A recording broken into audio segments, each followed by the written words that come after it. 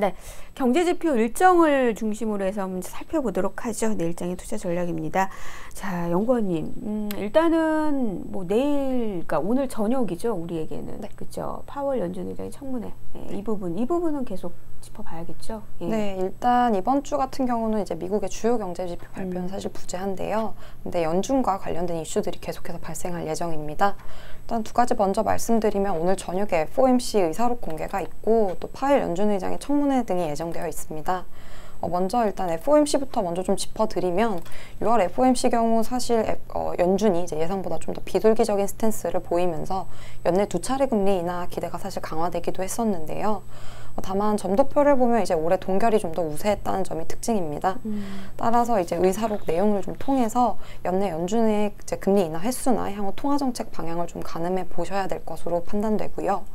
어, 일단 오늘 또 오늘이랑 내일 진행되는 파월 연준 의장의 이제 의회 증언 음. 같은 경우는 오늘이랑 내일 이제 진행되면서 파월 연준 의장이 상하원에서 반기 통화 정책 보고를 나설 예정입니다.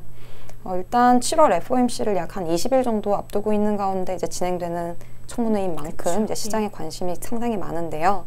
아무래도 이제 지난 FOMC가 비둘기적인 stance를 보이면서 연준의 공격적 금리 인하가 사실 높아졌기 때문인 것으로 판단됩니다. 어, 일단 다만 최근에 발표되었던 6월 고용 지표가 사실 5월이랑 다르게 상당히 호조를 보였잖아요. 음. 이제 그러면서 사실상 7월 FOMC에서 금리를 50bp 인하할 것이다라는 기대는 많이 악화가 됐고 또 CME 페드워치의 이제 기준금리 환, 환 그 기준금리 음. 네, 확률을 음, 좀 네. 확인해 봤을 때 일단 25% 인하 확률이 이제 아마 전일 기준일 거예요. 98.5% 그리고 50bp 인하 확률은 사실 0%로 집계가 되고 있습니다. 이렇게 더 바뀌었네요. 예, 예. 네, 이제 음. 따라서 사실 이제 연준이 이제 7월에 뭐 금리를 인하할 것이다라는 사실 거는 이제 어느 정도 반영이 음. 되었지만 아마 공격적으로 금리 인하를 할 가능성은 사실 지금 거의 확실하지 않아 보이고 음. 또 이런 가운데 이제 월스트리트 저널이 이제 어, 청문회에서 좀 주목해봐야 될 내용들을 좀 몇 가지 짚어준 것들이 있습니다. 네네. 그래서 관련 내용을 조금 언급해드리면 첫 번째로는 일단 연준의 경기 전망에 대한 변화, 음. 그리고 또 미중 무역 분쟁으로 인한 이제 무역 전망 변화, 그리고 향후 또 경기 침체에 음. 대비해서 보험료 금리 인하의 보험용 금리 인하의 필요성, 음. 그리고 또 최근 사실 인플레이션이 이렇게 좋지 않잖아요. 네. 그래서 인플레이션 기대 상향, 그리고 트럼프 대통령이 계속해서 또 금리 인하를 압박하고 있는 만큼 이에 대한 파월 연준 의장의 대응 등에 좀 주목을 해보시면 좋을 것으로 생각됩니다. 네네. 어, 사실 미중 무역 분쟁 같은 경우는 이제 뭐 관련해서 조금 얘기가 있긴 했는데 음. 뭐 불확실성이 좀 커졌다라는 정도의 코멘트를 확인할 수 있었고 네. 아마 뭐 청문회에서 이제 관련된 내용들이 좀 나오면 음. 아마 도, 현재 경기나 음. 이제 무역 전쟁에 대한 음. 뭐 향후 전망 등에 음. 대한 이제 연준의 생각을 좀 더 확인할 수 있을 것으로 판단됩니다. 네, 저는 여기서 보험적 금리 인하 라는 부분을 어떻게 풀어서 계속 질문을 할 것인가. 아, 기승전은 이쪽에 되지 않을까 싶거든요. 그러니까 그 점에 대해서 뭐 경기도 물어보고 교육도 물어보고 그럴 것 같은데 어, 여기 좀 궁금합니다. 알겠습니다. 그 밖에도 좀 어떤 것들을 좀 봐야 될까요? 네, 그리고 네. 지금 최근 뭐 어찌됐든 뭐 파일 연준 의장의 뭐 발언이라던가 그다음에 또 FOMC 같은 이슈들로 인해 사실 시장이 크게 움직이기보다는 관망세를 보인 점이 특징인데요. 사실 유가도 뭐 크게 움직이기보다는 음. 지금 계속해서 뭐 0.3% 인상, 아니 뭐 상승 네. 이런 식으로 사실 소폭 변화를 좀 보인 점이 특징입니다. 어, 이런 가운데 사실 오늘 이번 주 이제 주요 에너지 기관들의 보고서가 발간된, 발간될 예정인데요.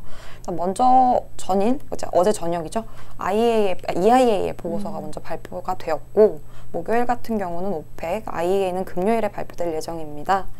어, 지난달 보고서 내용들을 조금 정리해 드리면 공급 이슈와 더불어서 이제 원유 수요가 중요하게 원유 수요 관련 이슈들이 좀 언급된 점이 특징인데요. 어, 세계관 모두 이제 올해 원유 수요 증가량 전망치를 다 하향 조정하면서 원유 수요 둔화 우려가 부각되었습니다. 음. 어, 관련 우려에 또 유가가 또 급락세를 보이기도 했고 또 최근 오펙과 비오펙이 산유국 비오펙 산유국의 감산 기간 연장에도 유가가 급락하기도 하는 등 어, 미중 무역 분쟁 우려나 이제 경기 둔화 우려에 원유 수요 불확실성이 이어지면서 유가에 계속해서 큰 영향을 미치고 있는데요. 음. 어, 따라서 뭐 원유 이제 관련 보고서들에서 뭐 한국 원유 전망이나 수요 전망에 대한 또 변화를 줄 것. 주는 경우에 유가가 또 크게 움직일 수 있어서 음. 이번 주에 발표되는 보고서들에도 좀 관심을 가져보셔야 할 것으로 판단됩니다. 네, 사실 유가의 움직임이 어, 일, 유가가 크게 움직인다고 해서 연준의 어떤 시각이 바뀐 적은 제가 기억하기로는 거의 없었던 걸로 보고 있거든요. 하지만 그렇지만 심리는 자극할 수 있거든요. 인플레 심리와 관련해서. 그래서 계속 연구원님도 이 부분을 좀 점검을 해보자라는 얘기도 해주셨습니다.